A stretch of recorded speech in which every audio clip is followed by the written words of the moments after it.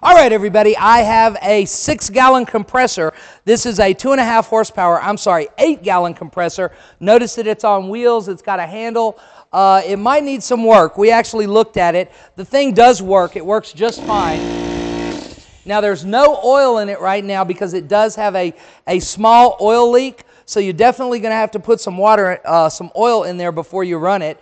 Now, we were actually going to keep this item as our store compressor. We tested it enough. The tank does pressure up. Uh, the only thing is that there is some oil leaking out of the out of the compressor motor. So that's a bad thing. Now, I think if you just used this intermittently, you used it to fill up tires, maybe occasionally around your shop, the oil leak would not be a problem, or maybe you know how to fix it. Harbor Freight sells this item for $109. Call and give me a bid on this item. Ooh, pardon me. All right. The next item I have for you on the table, this is a, wood a moisture meter. That's right, if you buy a lot of lumber, you don't want to get cheated. You want to make sure your, your lumber's been dried properly. This is a wood moisture meter. Also on the table, I got a case for a Zune um, uh, uh, media player. This is for the Microsoft Zune. It's a hard case and it retails for $30. I've got a power block here for charging up your MP3 player when you're not, not near a computer. And actually, you know, I said you could put batteries in this thing, but it's actually, there's the little plug to plug into the wall. And then your regular USB cord plugs into that, and this plugs into your MP3 player. So you don't, I know you've been out there and your batteries have gone dead, and the only way you can charge it up is to plug it to a computer. Not true. This will save you. Just plug it into the wall. Or perhaps you have just a docking station on your on your MP3 player and you don't really have a computer and you have to go.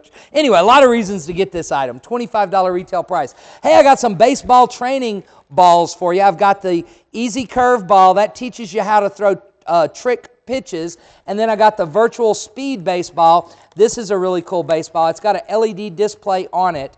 Need to change the batteries. But when you throw the ball, it tells you how fast you throw the ball. That's pretty cool.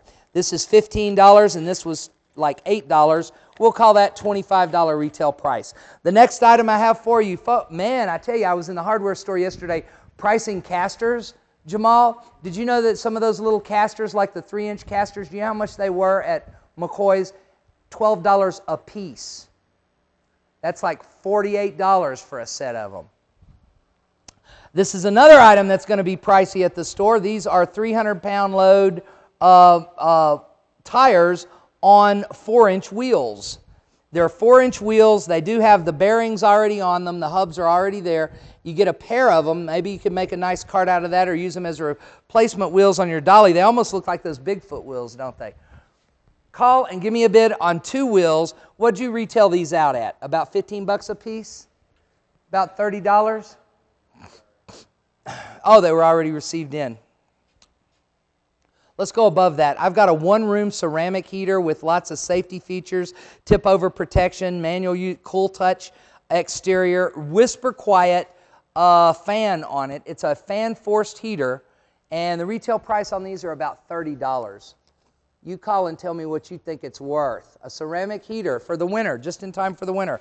Hey, I got a pump for you. This is a submersible pump the one half horsepower pump, these are great for those, pond, those ponds you get in your driveway during the monsoon season. It's got a float valve on it and a long 20 foot cord so it'll reach out there to the pump. Call and give me a bid. That's a submersible pump. Now, I have a clear water pump also on the table. This is designed for like continuous use, heavy duty use, like in a, um, like in a swimming pool uh, filter. Uh, retail price on this item is 40 bucks. Also on the table, I've got a, what would we call this, a grooming goodie. I've got some life care pads here, panty liners, 26 of them. I got some eyeliner. I have some lipstick and a Wet n Wild um, uh, eye compact. We also have some Crest uh, toothpaste. Ooh, vanilla Listerine. A pregnancy test some Lady Speed Stick underarm deodorant, and some Head and Shoulders, and some Jergens skin lotion. Wow, that's a nice little um, grooming goodie there. I like that. Call and give me a bid on that item. And that's the 10th item on the table. Let's go to the bidder board now.